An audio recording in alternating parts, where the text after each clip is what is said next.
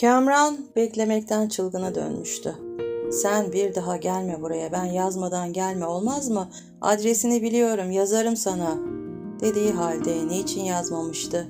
Başına bir şeyler mi gelmişti? Yazmasını beklemeden gitse miydi? Hatta her zaman buluştukları bahçeye değil, doğrudan doğruya evlerine. Yırtıcı bir kuş gibi hırslıydı. Bilse ki kızın başında bir şeyler var, sonu ölüm olsun isterse. Gider gözünü budaktan sakınmazdı. En iyisi kafayı çekip gitmek diye geçirdi. Gerçekten de kafayı çekti mi ince eleyip sık dokumaktan kurtuluyordu. Böyle zamanlarda en olmayacak işlerini bir çırpıda halledivermişti. O zaman morukla açık açık konuşur torununu sevdiğini, onsuz yaşayamayacağımı söylerim biter gider. Günler geçtikçe içindeki ateş büyüdü gelişti. Alev halini aldı ne olursa olsun. Dayanamayacaktı artık daldı meyhaneye. Meyhane Beyoğlu balık pazarının birbirini kesen daracık sokaklarından birinde. Patırtıcı genç edebiyatçıların omuz omuza doldurduğu kesif bir sigara dumanıyla kaplı daracık bir yerdi. Oturmak değil, açık şarap, bira yahut vodkalar tezgah başında ayaküstü içilebiliyordu. Kamran da bir kişilik yer bulup tezgah başına geçti. İlk, ikinci bardak. Şaraplar mezesiz filan yuvarlandıktan sonra küçücük bir tabakla kayış gibi sert, bayat bir ciğer tava sunuldu. Aldırdığı yoktu. Kafasında evdoksiya. Yalnız evdoksiya. Üçüncü bardakla beraber bir sigara yaktı. Etrafında bir sürü insan edebiyattan konuşuyorlar. Meyhane arı kovanı gibi uluyordu. Umurunda değildi. Zaten anlamıyordu da konuşulanları. İçine içindekileri kapanmıştı. Kafayı buldum mu? Tamam. Küt, düşerim evlerine. Sonunda ölüm yok ya, ne diyecek? Pek pek dinimiz ayrı. Sana veremem mi diyecek. Kovacak mı beni? Kovsun. Ama bırak. Kabahat gene de bende. O gün ne yapıp yapıp tüydürecektim. Şerefsizim gelirdi. Tam yumuşamıştı ama neyse.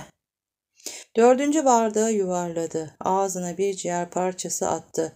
Hızlı gidiyorum, boş ver. Kafayı çabucak bulup. Şaraplar da tesirsiz be. On bardak içmeliyim ki keçiler kaçsın. Keçileri kaçırmak sözü. Antranik'indi. Antranik. Mobilyacı Antranik. Piliç gibi karılar düşürürdü hergele. Kamran'ın evdoksiyası da piliç gibiydi. Onu da mı düşürür? Yüzü asıldı. Hristosundan başlarım onun. Başlaması kolay ama dur bakalım yüz verir mi Evdoksiya? Çocuk musun? Evdoksiya yüz verir mi hiç? Gözleri daldı. Evdoksiya'nın sert göğsü, rüzgarlı etekleri, biraz uzun ama nefis bacakları. Evdoksiya gerçekten de boş verirdi ona. Beşinci bardağı kızın şerefine dikti. Peki ama ne malumdu boş vereceği? Ya başka kadınlar gibi o da mangırına tav olursa Antronikin? Altıncı bardağı uzanırken kendi kendine yavaş dedi. Hızlı gidiyorsun. Kızdı. Hızlı giderse ne olurdu? Keçileri mi kaçırırdı? İşte gene antranik. Dolu bardağa sarıldı içmedi. Tekrardan bıraktı. Vız gelirdi antranik. Onda mangır varsa kendisinde de gençlik vardı. Ne demişti şoför Niyazi? Hem canım antranikle bu kadar dostlar. Birbirlerinin acı kahvesini içmişlerdi.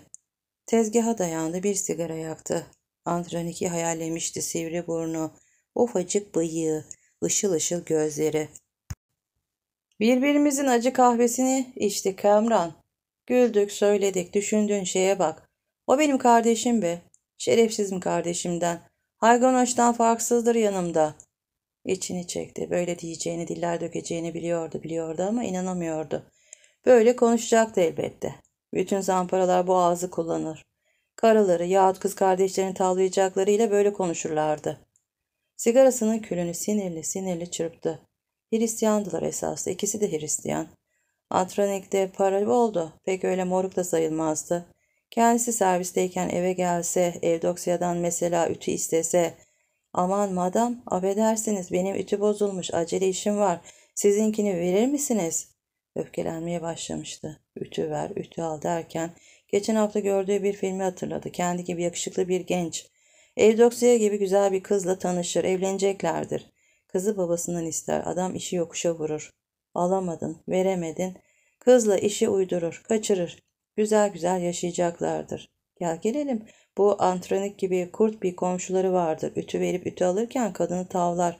Başlarlar kırıştırmaya. Adam tıpkı tıpkısına antronik. Kırkı aşkın ama kadınları kahkahadan kırıp geçiren biri. Gel zaman git zaman işler öylesine tıkırında gider ki. Kamran'ın tepesi attı. O hızla şarap bardağına tekrar sarıldı. Son damlasına kadar içti. Boş, hemen doldu. Dolu bardağı göz kırparak mırıldandı. Boş ver, o sinema. Antronik değil. Onun şahı Evdoksiya'yı baştan çıkaramaz. Arkasında bir horultu döndü. Eski fötrü altında kocaman burnuyla sızmış, poz bıyıklı biri. Evdoksiya'nın dedesine benzetti. Gidecekti. Kafayı adam akıllı tuttuktan sonra mutlaka gidecek. Evdoksiya'yı dedesinin evinde görecekti. Kararı karardı. Kimse hiç kimse caydıramazdı. Gerekirse isteyecekti dedesinden hatta. Kendi kendine göz kırptı. Ya vermezse? Peki ama niçin vermez? Kendisi Kamran, öteki Evdoksiya diye mi? Belki ama niye? Görülmemiş bir şey mi? Yoksa çeker vurur mu? Şayet böyle bir şeye kalkarsa Kamran elleri armut toplamıyor ya. Belki de vurup vurulmadan karakolluk olurlar. Olsunlar. Daha iyi. Kamran için pek de önemli değil. Hiç kimsesi yok. Bir başına bir insan. Durumu komiseri anlatır. Sevişiyoruz. Deliler gibi sevişiyoruz der. Onun için mahvoluyorum der. Allah'ın emriyle istedim vermedi derim. Niçin vermediğini sorar. Ne cevap verir? Dinimiz ayrı mı der. Desin. Kanunda böyle şey var mı? Yok. Yok ama yaşı küçük. Dedesi razı olmazsa Gözlerinin önünde karaltılar uçuşmaya başlamıştı. Gerçekten de Edöksen'in yaşı küçüktü. Karakolda da mahkemede de haksız çıkabilirdi. Neşesi kaçmıştı. Birden gözleri parlamaya başladı. Yalvarırım be diye geçirdi. Elini ayağına kapanırım. Baba derim, babacığım derim. Ben de senin bir evladınım. Yapma. Acı bize. Kendi gençliğini hatırla derim. O da genç oldu elbette. Kim bilir belki de o da sevdi. Anasından böyle kazık gibi doğmadı ya, torununu öyle yaşatacağım ki derim. Herkes imrenecek. Ne iş yaptığımı sorar. Taksim var derim. Patronu falan karıştırmaya lüzum yok. Bizim patron iyi insan nasıl olsa. Taksiyi belki de bana verir. Piyasada 8-10 taksisi var. Benzin depoları, garajı var. Yalvarırım. Verir. Öderim borcumu. Taksi benim oldu mu günde sırtı sıra 20 saat bile çalışırım. Borcumu ödedikten sonra yaşadık. Her gün 30-40. Maç günlerinde daha çok. Araba kendimin olunca çok temiz kullanırım. Örselemem hiç. Para biriktirir bir taksi daha alırım. Taksim 2 olur.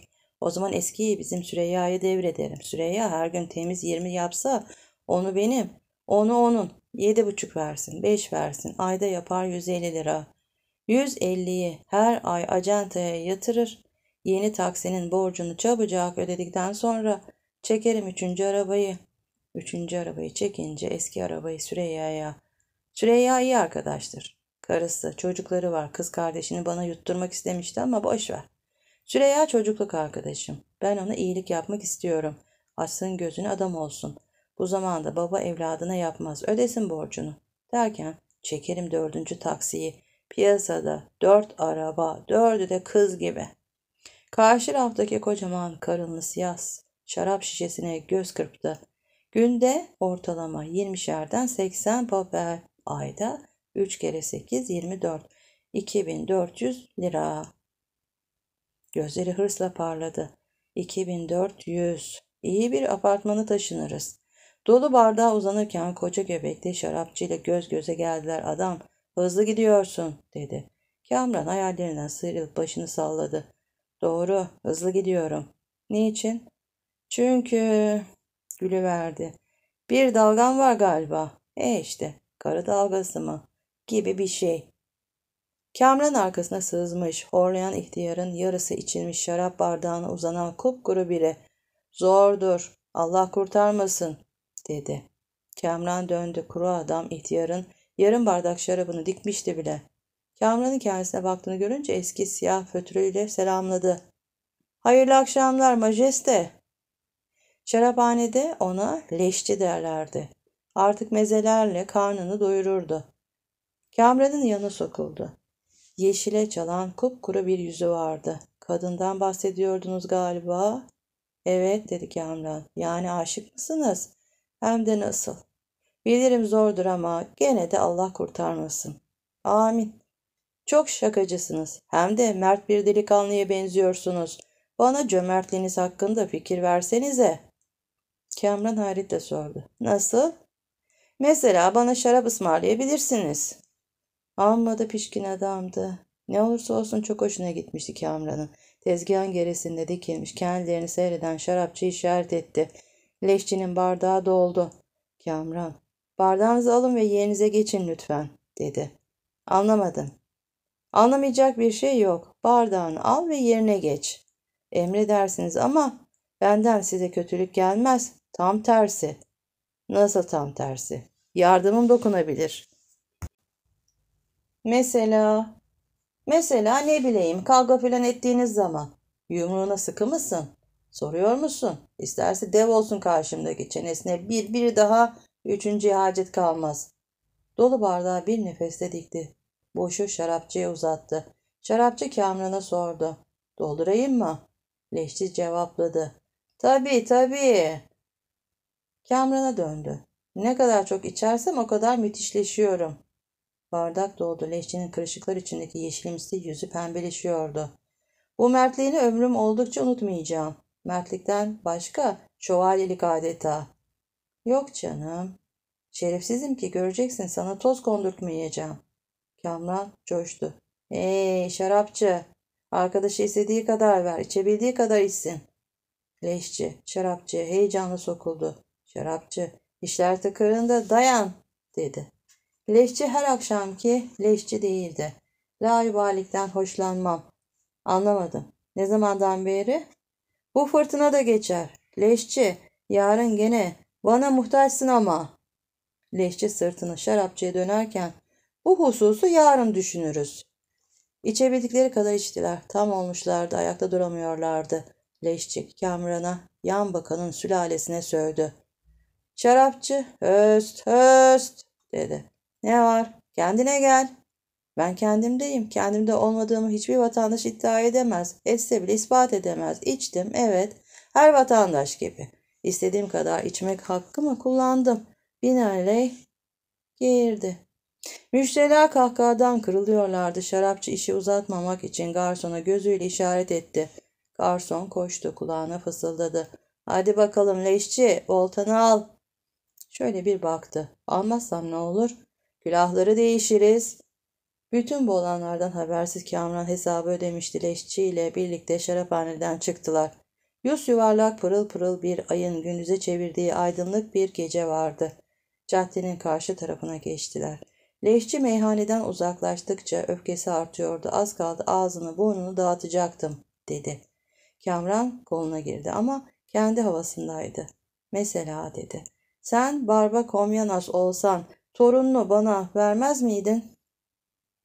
Leşçi durdu. Ben mi? Sen. Bir iki demezdim. Derhal. Ama senin ismin Komyanos. Benimki Kamransa. Benimki Dikran. Seninki İstefan da olabilir. Verirsin demek. Bir iki demem dedim ya. Kiliseye falan boş mu verirsin? Soruyor musun? Kaldırma yan yana oturdular. Kamran'ın gözleri şişmişti. Kekeliyor. Zorla konuşuyordu. Ben, ben, namuslu insanım ben arkadaş. Çalışır, kazanır, harcarım. Şimdi bir tek taksim var ama yarın, yarın iki olacak, üç olacak, dört olacak. Leşçi sordu. Nasıl? Nasıl mı? Bilmiyor musun? Ya. Dinle öyleyse. Benim çalıştığım takside esas da patronun. Patron karısından değil de metresinden korkar ama gene de iyi adamdır. Tanır mısın bizim patronu? Leşçi attı. Nasıl tanımam metresinden korkar. Yaşa be ne biliyorsun? Eski ahbabımdı. Sonra? Çalıştığım taksiyi bana verir mi vermez mi? Sen istedikten sonra yaşa o zaman ne yaparım ben? Ha, ne yaparım? Ne yaparsın? Sıkarım dişimi. Sıkarım sıkarım. Öderim borcumu. Ödedim mi? Tak. Hemen yeni bir taksi çekerim acentadan. Geçerim direksiyona. Eskiyi de Süreyya'ya veririm. Leşçi tanırmış gibi boş ver Süreyya'ya dedi. Niye? Çirkin kız kardeşini bana vermek istediği için mi? İpucu yakalanmıştı. Tabii ya ben varken Süreyya da kim oluyor? Senin yolunu ölürüm be. Başı göğsüne düştü. Kamran uyuma dedi. Uyumuyorum. Sen şoförlükten çakar mısın? Tayyareden bile çakarım. Benim eski taksiyi sana versem günde kaç lira verirsin bana? Leşçinin fikri yoktu attı. 30 lira. Kamran şaştı. Sahi mi? Tabii sahi. Sami'ye boş ver. Hangi Sami? Süreyya de. Evet Süreyya. Boş ver Süreyya'ya. Kaldırıma sırt üstü uzandı. Kamran sordu. Uyuyor musun? Yo seni dinliyorum. Az sonra horlamaya başladı. Kamran bir zaman kendi kendine konuştu. Leşçiyi unutmuştu. Sonra kaldırımdan kalktı. Elleri pantolon ceplerinde mırıldanarak caddeyi tuttu. Günde 30 lira, ayda 900 lira. Bir taksi daha çekerim. Yeni taksiden gelecek parayla borçları öder, sonra da üçüncü taksiyi. Evdoksiyalara gidiyorum sanarak kendi evinin yolunu tutmuştu.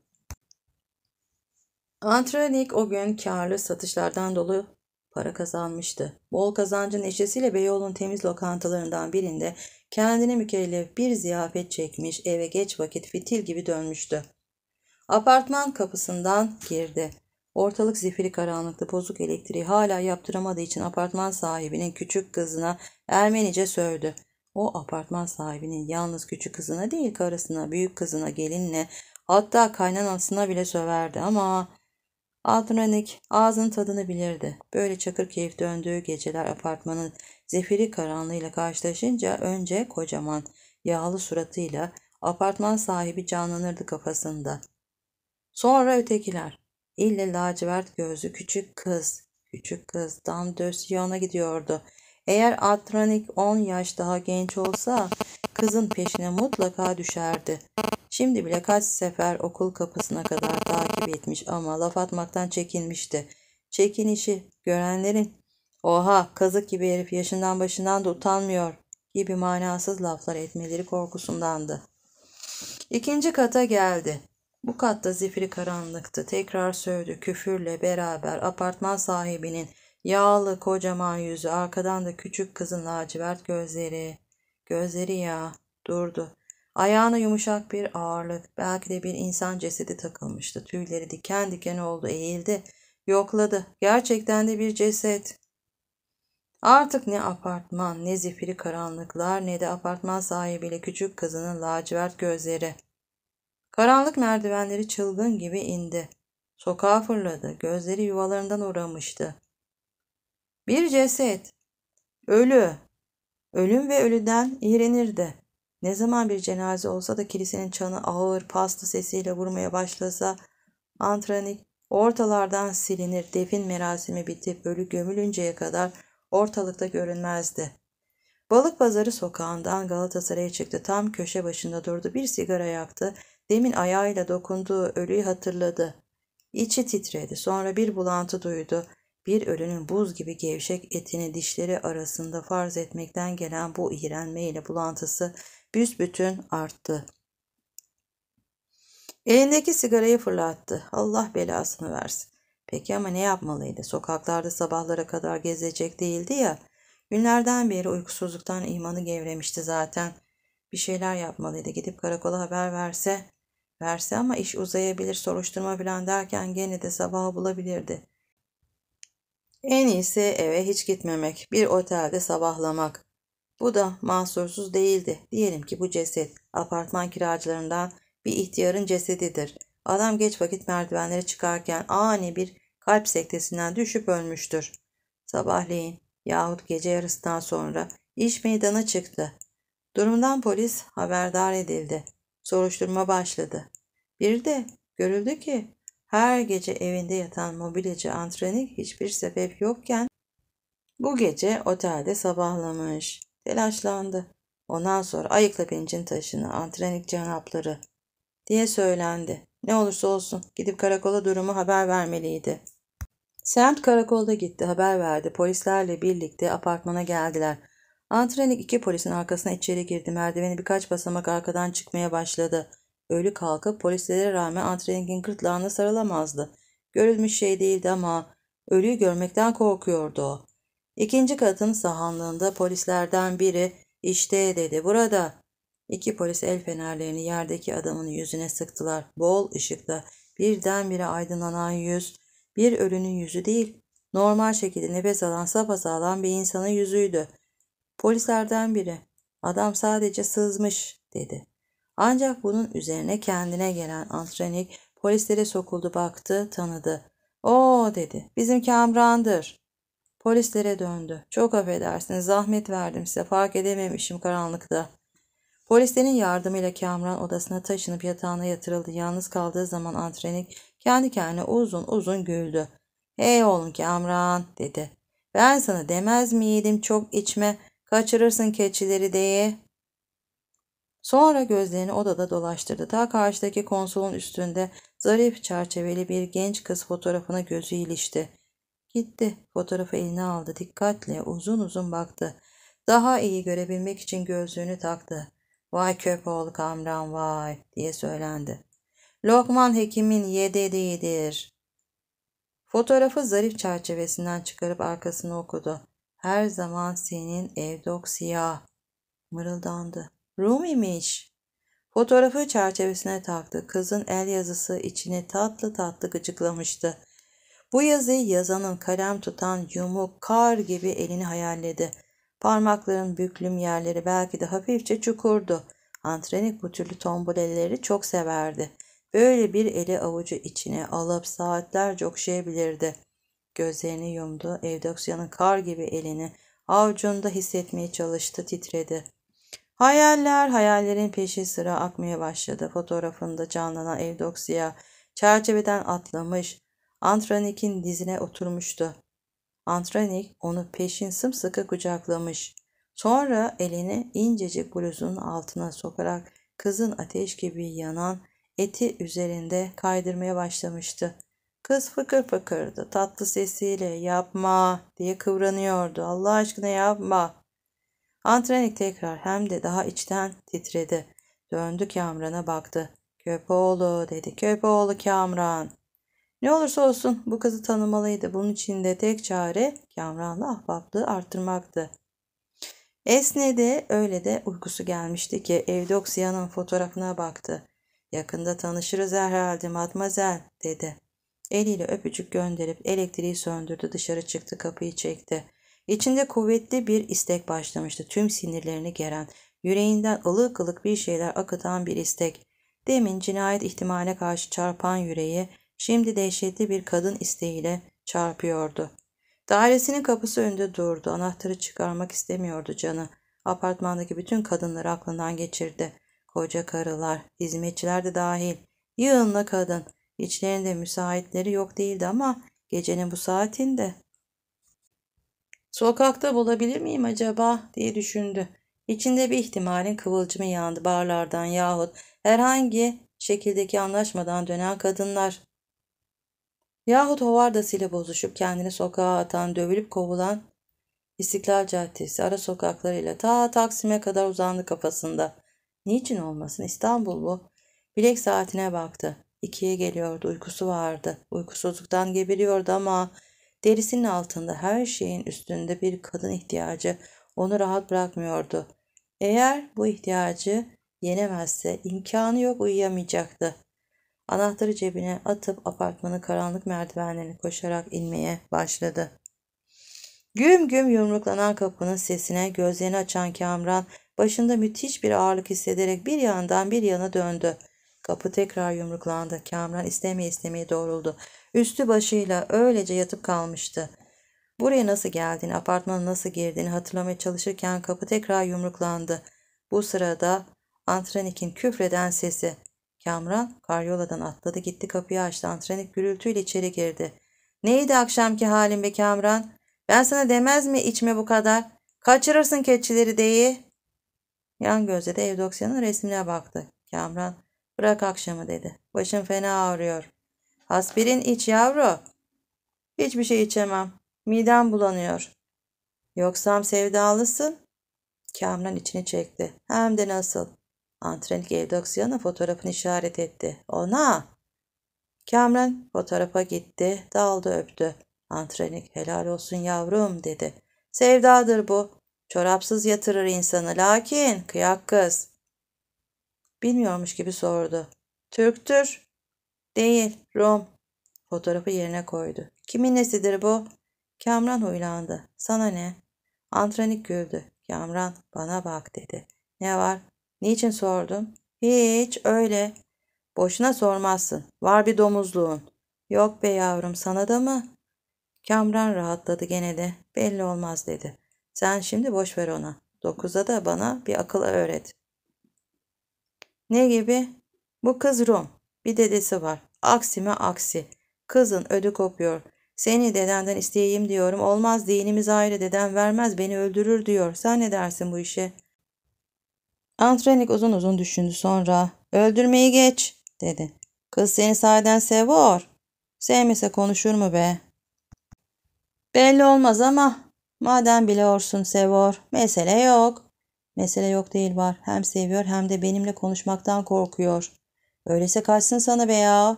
Ulan korkuyor diyorum sana be. Hem seviyor hem korkor. Kıyak dalga. Seven korkmaz. Sen niye kulak asıyorsun onun korkmasına?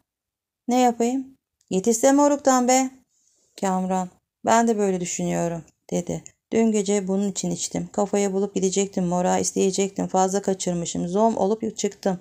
Dinle beni şimdi. Bana yardım edeceksin. Nasıl? Mora birlikte gideceğiz. Antrenik'in gözleri parladı. Gidelim be yavrum. Gidelim ama daha önce çekelim kafaları. Tamam.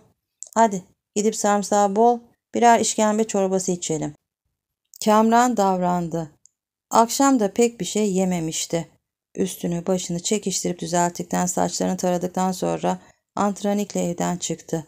İşkembe çorbası kokoreçi tuzlamasıyla meşhur Rum işkembecisine girdiler. Sarımsağı sirkesi bol birer işkembe çorbası söylediler. Antranik, Rum kızı konusuna dönülmesi için can atıyordu ama Kamran'ın şüphelenmesinden korkuyor açamıyordu. Nihayet Kamran kendisi açtı. Kız çok güzel Antranik dedi. Peşine de düşen düşene. Ne biliyorsun? Kendi söylüyor. Kendi söylüyor ha. Benden hiçbir şey saklamaz. Seni kıskandırmak için tabii. Beni sevmese kıskandırmaya ne ihtiyacı var? O da doğru. Sonra? Sonrası sağlık işte. Dedesi dev gibi bir şey. Herifte bir boy var iki metre şerefsizim. Eski komitacılardanmış. Benimkinin annesini kurşunla vurmuş. Antrenik bir ıslık çaldı. Demek kurşunla. Sebep? Eğri yolda görmüş. Boş ver. Bir gün basar gideriz. Bitti gitti. Aslan gibi delikanlısın. Elin ekmek tutar. Daha ne? Dinimiz ayrı. Aldırma. Din min. Şu bu. Hepimiz insanız.